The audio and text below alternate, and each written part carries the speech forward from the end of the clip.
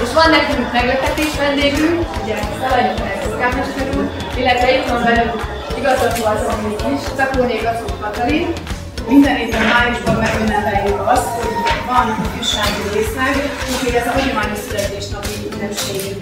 Az a szellem, ami bennetek van, ez példaértés. Na és akkor ebből következik, hogy gagyit nem csinálunk.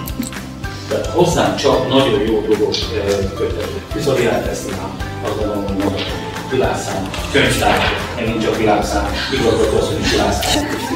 Mindenki akkor be a szemét, És gondoljon vele, és gondoljon valamire, ami meg akarja, hogy valósuljon, jó? És akkor számolunk ötig, és akkor utána eszébe legyen. Csukja be a szemét mindenki. Egy, kettő, három, négy, fújás.